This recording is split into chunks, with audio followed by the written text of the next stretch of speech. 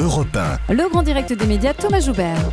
Cet été, Michel Drucker va vous emmener au Québec pour un show estival baptisé L'été indien. Quatre numéros diffusés le samedi soir en deuxième partie de soirée sur France 2.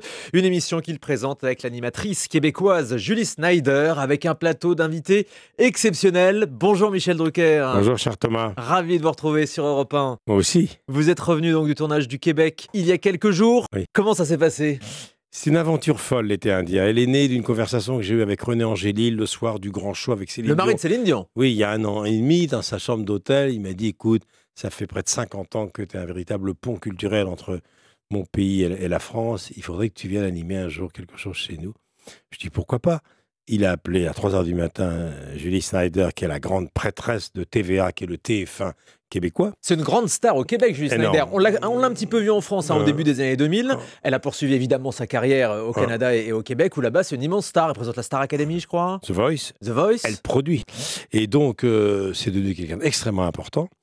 Moi, je l'ai fait découvrir en France il y a 15 ans. On s'était euh, fait un gros bec en direct devant 5 millions de gens, on s'en souvient encore. Et puis surtout, c'est la grande amie de Céline Dion. Moi, Céline, c'est ma petite sœur. Quand René Angélil a eu cette idée, il a dit euh, Céline viendra, elle sera la marraine de l'émission. C'était il y a plus d'un an.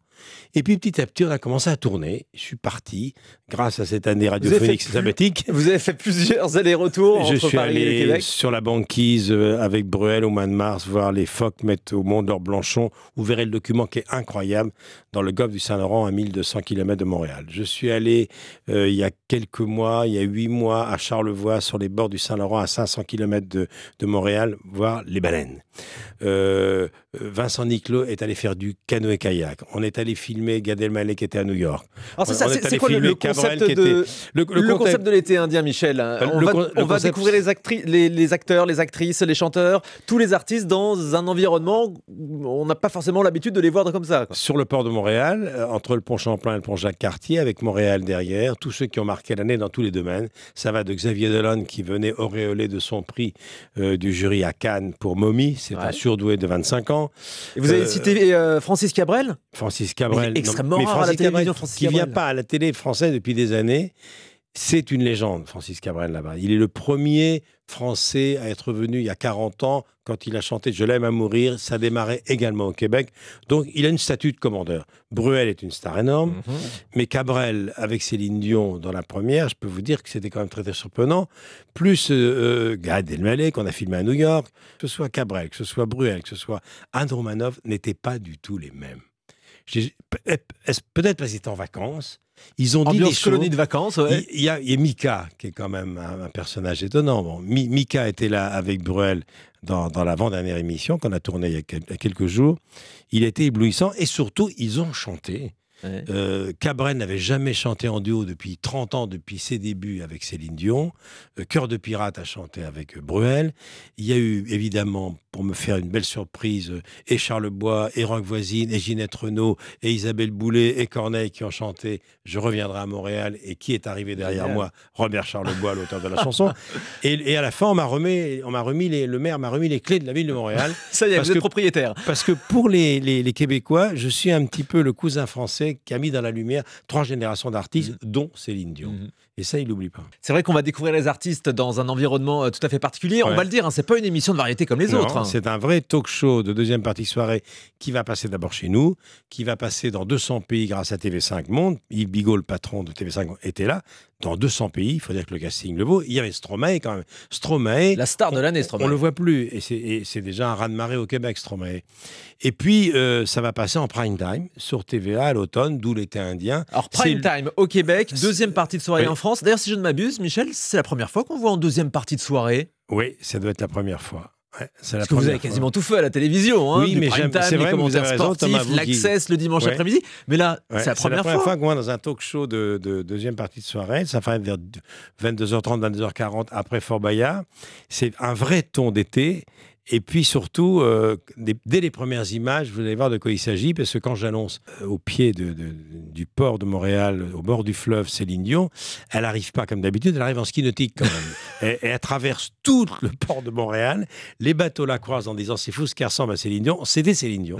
Elle est tombée trois fois, elle a remis ça trois fois. Euh, je suis arrivé mon hélicoptère aux commandes d'un hélico puisque j'ai ce, brevet avez ce brevet de de, de pilotage. pilote. J'ai déposé Véronique Dicker, qui est une énorme star là-bas, évidemment, et puis Rock Voisine. Avec Bruin, on est arrivé à- à- à- sur des chevaux de la police montée canadienne. J'ai vu les premières Stromae images. est arrivé à vélo. On vous voit sur un bateau dans une espèce au- de au milieu- découverte au milieu du Saint-Laurent, au milieu des baleines. Vous n'aviez pas l'air rassuré, Michel. hein. Et non, parce que euh, on peut rester des mois et des mois en venant du monde entier pour apercevoir des baleines, on voit rien. Moi, je suis arrivé, il y avait six baleines. C'est à se demander si on, les avait appelées sur leur portable avant qu'on arrive. J'ai vu des baleines, des belugas passer sous mon bateau, euh, sur la banquise avec Bruel. On, on a, on, on a joué les Brigitte Bardot en prenant des petits blanchons dans nos bras. C'est un vrai dépaysement et surtout, je me suis beaucoup, beaucoup amusé. Beaucoup. Et comment est-ce que vous avez fait pour convaincre les stars de venir participer à ce genre d'émission? Eh bien, d'abord parce qu'ils adorent venir au Québec, parce que euh, Cabrel, je vous l'ai dit, est dans le cœur des Québécois depuis 40 ans, parce que Bruel aussi, c'est un marché important. Stromae est arrivé, faisait ses deux premiers centres belles, l'équivalent de Bercy, en beaucoup plus grand à Montréal. C'était un carton. Gad Elmaleh a grandi là-bas. Euh, et c'est vrai que pour les Français, euh, le, le marché, qui- c'est la première étape avant l'Amérique. Ouais. Bon, on, on- Bruel, euh, on voit Cabrel chanter à New York, on voit Gad Elmaleh qui commence dans une petite salle, qui recommence à, zé- à zéro à New York, c'est il y a quelques mois. Et puis surtout, les, les- les- les Québécois sont totalement désinhibés. Ils disent des choses absolument incroyables. Euh, Julie Snyder est survitaminée, elle dit des choses incroyables, pénètre dans, Elle dans- dans- ose, dans hein. la vie privée avec une audace incroyable. Et bizarrement, les Français qui sont totalement fermés comme des huîtres ici, là-bas, pas du tout. Ah oui, c'est ça. La force de Julie Snyder, c'est qu'elle ose, ose faire tout. des happenings, Tout, comme des euh, on dit dans un très mauvais français. Euh, c'est ça qui est incroyable Ouais. euh, et, et qu'on va découvrir dans cette émission. Justement, Julie Snyder, euh, on se souvient, je l'ai rappelé au début de cette interview, qu'on l'avait vue en France, vous l'aviez fait euh, venir au début des années 2000. Elle avait fait l'Access de France 2. Pendant trois mois. Pourquoi elle s'était plantée? Peut-être parce que c'était un peu trop tôt. Moi, je l'avais convaincu de. À l'époque, je faisais tapis rouge avec Franck Sera, avec qui je fais maintenant le grand show. Le producteur. Et on s'était dit, on, on- on va la faire venir une fois par mois pour montrer, parce qu'elle obtenait. Elle avait fait trois shows. D'abord, euh, euh, L'Enfer, c'est les autres. C'était en premier qui est talk show. Ensuite, c'était Le Point J. Et ensuite, euh, vendredi chez Julie. Point J comme Julie. Où, où elle obtenait des Français des choses incroyables. Elle embrassait les acteurs sur la bouche, elle les mettait en situation insensée qu'ils acceptaient. Et finalement, euh, elle a réussi à, à- à convaincre toute une génération de venir s'amuser chez elle, et ils viennent volontiers. Et ce qui était amusant, c'est de voir nos deux styles, parce que moi, je suis plutôt quelqu'un euh, qui a du mal à, pénétrer, à franchir la ligne jaune de la vie personnelle avec les artistes. Elle, pas du tout. Ce qui fait que moi, je me suis un petit peu moqué d'elle. Et ça a formé un duo qui, paraît-il, a fait beaucoup rire. En tout cas, on a envie de remettre ça. Mais je serais curieux de savoir ce que les Français vont penser de ce talk show, qui est une vraie nouveauté. C'est- vraiment le, le programme nouveau euh, de l'été, où vous le savez comme moi, puisque vous en parlez tous les jours, les programmes d'été sont souvent... Un des- océan de rediffusion. des- des moment. Et là, c'est une, émission qui aurait pu très bien passer sur la grille euh, en, en- en- en cours de saison. À la rentrée, Michel, on vous retrouve dans Vivement Dimanche et Vivement Dimanche prochain, toujours. Avec le grand show. Ouais. Oui, avec des, avec des gens nouveaux que j'ai pas pris, que j'avais par exemple, enfin spécial avec Isabelle Adjani. C'est son retour au théâtre, on la voit rarement. Euh, Sophie Marceau qui est associée à Bruel avec un film fort drôle qui va être un événement de la rentrée. Et puis j'ai également invité des gens qu'on n'a pas vus dans Vivement Dimanche sur la longueur, comme euh, Monsieur de Tonquédec. Ah, alors, j'adore Guillaume de Tonquédec. Guillaume hein, fait voit pas dans fait Fais pas pas ça. ci, fait et puis- passer et puis brillant le- acteur. Et puis le prénom. Euh, euh, Omar Sy, on lui fait un, un- tout un dimanche. Il y aura également Patrick Chenet que j'adore. Ça veut dire que vous puis- arrivez toujours à trouver des Oui. invités euh, qui euh, viennent bien volontiers dans Vivement Dimanche. Vivement prochain parce que c'est une consécration, il faut, faut bien le dire. Et encore donc des, des, des nouveaux. Vous êtes jamais lassé Non. d'interviewer euh, les mêmes personnes depuis non, tant pas d'années, du tout, parce que même par exemple quand, je, quand Bruel vient ou Pani vient ou, ou une star euh, qui a pignon sur rue depuis longtemps, qu'on n'a pas vu depuis 4 ou 5 ans dans Vivement Dimanche, 4 ou 5 ans, il s'en passe des choses dans une carrière Ouais. en 5 ans. En 5 ans. C'est vrai que euh, en 5 ans, on peut revenir au, au premier plan. En 5 ans, on peut faire un film qui est un carton. Et puis à chaque fois qu'on a fait deux ou trois fois avec le même invité, à chaque fois, c'était une émission différente. C'est parti pour durer, donc Vivement Dimanche et Vivement Dimanche prochain. Ben, c'est pour une émission l'instant, qui est à l'antenne depuis cas, voilà, ça- 1998. Ça fait 50 ans cet été. De carrière pour vous. Je rentrais à la télé il y a 50 ans, presque jour pour jour, mon cher euh, Thomas. C'était l'été 64, deux mois avant les Jeux Olympiques de Tokyo. Et comme a dit Julie Schneider, euh, il les fait pas. Et je le confirme, je vous le confirme justement, ce poids des années, Michel, vous Je y sais pensez pas. En tout cas, je suis toujours là, fidèle au service public, fidèle à France 2, parce que je trouve que France 2 est une bonne chaîne. Voilà. Qu'on a tort de, trop décrier parce qu'elle a eu des petits soucis en Access Prime Time cette année. Il y a eu des choses magnifiques sur France 2.